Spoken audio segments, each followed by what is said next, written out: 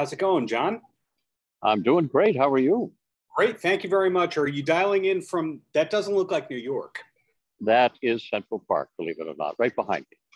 Wow. Well, congratulations on the I want I wanted to pick something that was a lot of fun at least. well, Central Park, not too far from the Thanksgiving Day parade, and you'll be hosting the National Dog Show around then. Do I have that correct? You got it. 21 years now. Right. Did you know when you hosted it the first time that it was a long-term gig like this? Well, no, we uh, we're taking a uh, one of the biggest leaps ever done in programming on television. Uh, John Miller, who was the head of NBC Sports, took home Best in Show, uh, the movie, uh, one weekend, and said, uh, as he watched it twice and laughed out loud, said, "I know what we're going to do with that two-hour slice between the Macy's Thanksgiving Day Parade and the and the and football." He said, "We're going to do a dog show." Well, they about laughed him out of the office. But by the end of the day, he had put together a license deal with the Kennel Club of Philadelphia, Purina as a presenting sponsor. He called me on Tuesday morning and I picked up the phone in LA and he said, woof, woof. And that's how this all started. It was on a wing and a prayer. We had no idea that uh, by the end of the weekend, we were going to have a show that 19 million people watched. Um, it was an overnight success, and uh, that number has grown to over 30 million now. Right. Your career has kind of been a series of accidents, organic, wonderful things that have happened. But did you want to be a host early on in your career?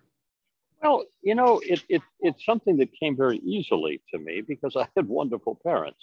And um, whenever they would have a party at the house, the, our, the kids were in charge of answering the door, taking the coats, serving the drinks, and, um, you know, uh, so I always grew up with the, you know, that kind of ability, I think, to entertain and, uh, uh, and, and, and, and not be the focus of what I'm doing. In our case, that's very true with the National Dog Show, is that the dogs are the stars, not us. We just get out of the way. Hmm. Obviously, you are a heck of a speaker. You are you have a distinct voice that everybody recognizes very easily if they pay attention to film and television. But did you have people early on that were trying to get you to speak differently than the way that you do? you know, the truth be known, um, my voice was the last one to change in high school. Uh, I, I, had a little pipsqueak voice up until then, uh, till I was about 15 and a half, 16 years old. And, uh, you know, that's the way it went. But I would say this, I, I have, I mean, I, I studied opera.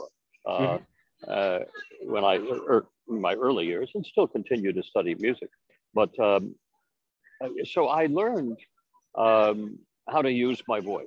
My voice is an instrument, um, and it's used just like any other instrument. Uh, if I want to sing, all I have to do is sustain tone. If I want to speak, I just learn how to place my voice where it needs to be placed, and um, uh, and it seems to work. But it's a, it's an instrument like anything else. So, but now add to that um, I have a musicality to my voice. That, yes. Um, I think I learned back in the late 60s when all of, just as my voice was changing, all of the great DJs were taking over uh, rock and roll. Uh, and, uh, you know, they all, they all had these wonderful voices that sounded like this. Yeah. You know, it's like, and, and it was, uh, everything was much more excited than it, than it had to be but uh, I, I think I learned. I was always uh, admired those those incredible, incredibly distinct voices, and I think um, I think I picked up a lot of that back in that time. I think you just did a cousin Brucie impression. That's funny, cousin Brucie. Well, uh, remember him well. So you grew up in Connecticut, but when? At what age did you leave Maine? Uh, very young. Now, we, we didn't stay in Maine very long, just long enough for me to pick up my uh, sports allegiances there in, uh, in New England, uh, which includes obviously the Red Sox and all things that are Boston. Um, but uh, no, we ended up living in the Boston area, moved there, and then um, uh, most of my life was in Connecticut. Got it.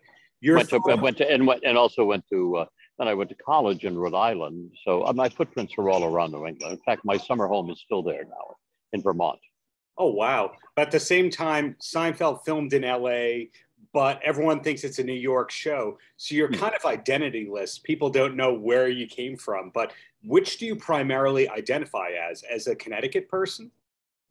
Well, I, I identify as a New Englander because, uh, you know, as I say, New England is, is like a big, one big, large state. Mm-hmm. Um, it's uh, very homogenized in that regard. People who um, are born in New England end up staying in New England because everything you need is really in New England. And, uh, you know, you cross the borders very easily there and it doesn't, um, you know, you're not really moving into one distinct area that looks different from the rest. Uh, you know, maybe Bostoners talk a little different than other people in New England, but uh, that's about it. Everything else is pretty homogenized. So, and I also find that, you know, New York is, um, or Boston is uh, New England's New York. So everything you need culturally is right there. So people have a tendency to stay pretty close. Well said. Well, do you have time for a lightning round of fan questions for you before I let you go? Sure. Okay, the first one is a compliment. Uh, Dante Capizzola wants to know how do you still look the same 20, 30 years later after millions of people first discovered you on Seinfeld? I think it's more your eyesight, and that's a nice that's a very nice compliment uh, tucked in there, but I would say it's probably your your eyesight. I think uh, it's uh, it may, we may need glasses there, but uh, no, I, I, I look at you know I look at myself and I see the little cracks and the crevices coming in slowly but surely. But I you know I've been lucky enough to I have uh, I have that good Mediterranean skin that came from my grandparents, and uh, so it seems to hold up. Got it. Joseph Hassan wanted to know if you had an archive like Peterman which comic strip would you be saving, and is it Ziggy? no, believe it or not, and this may seem pompous and arrogant, but back in the 60s, there was a comic book called Richie Rich. Oh, yeah. And I was just fascinated by this. Uh, I was just fascinated by personal wealth, I think. And that comic strip, you know, that comic book, I guess, kind of fell into place with uh, with kind of what I is just you know there was just they were just so wealthy it just never stopped. You know, if he wanted a private airplane, he had a private airplane. He did, and, yeah. Uh, a follow up from Joseph Hassan. He wanted to know who your favorite Seinfeld peer is off camera. I, am wondering if it's Fred Stoller. you know, no, I would say Patrick Warburton, probably my one of my dearest friends, and we do a lot of work together. And I help him out a lot in his charities and what have you like that. But Patrick is just one. He's just big old teddy bear, and I just, uh, you know, we've we've been uh, tied at the wrist and ankles for so many years. Uh, Francis Valentino, who plays drums for David Lee Roth these days, he wanted to oh. know the craziest place that you've been recognized as Peterman. Botswana. I hopped off a plane in Botswana on a dirt runway uh, I was there to host a National Geographic special for about about four weeks, uh, living in the brush, the, trying to uh, photograph and capture the wild dogs of Moremi. Um, and uh, my guide uh, comes to greet me at the end of the uh, at the end of the runway as, as the dust is just to clear, and he goes, "Ooh, Mr. Peterman."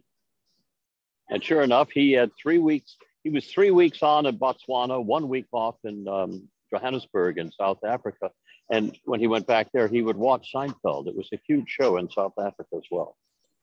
I did not know that. Uh, Ryan Wheeler, who also plays with David Lee Roth, great bass player, he wanted to know, as a fan of your work on Family Feud and in general your hosting, how you got so good with small talk. Well, that's interesting. Um, that is the tough thing. But, you know, I go on stage with no script and I say one prayer before I go on stage, and this is for Broadway or anything else I do. I say, God, let me be surprised. That's it. That's the one prayer I say. And I walk on stage, and that's it. And what it does is it relaxes me. But more importantly, it makes me focus on what someone is actually saying, looking in their eyes, drawing in everything I can about it. And you'd be surprised how easy it is when you actually give the person that you're talking to the attention that they deserve, conversation actually comes very easily. And then I just happen to have, you know, a very sarcastic and, and um, unusual sense of humor, uh, which I is partly Irish, I would suppose. but it's and also very self-deprecating. I'm I'm, yeah. I'm the butt I'm the butt of my own jokes, so it's tough I to hit a moving. It. It's tough to hit a moving target.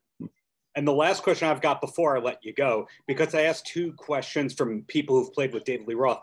My question Have you encountered any members of Van Halen in your, you know, 40, 50 years of show business success? They have managed to be distinctively elusive for my life. And I don't know whether it's intentional or whether I'm just walking in the wrong parts of town, but they have been distinctively elusive.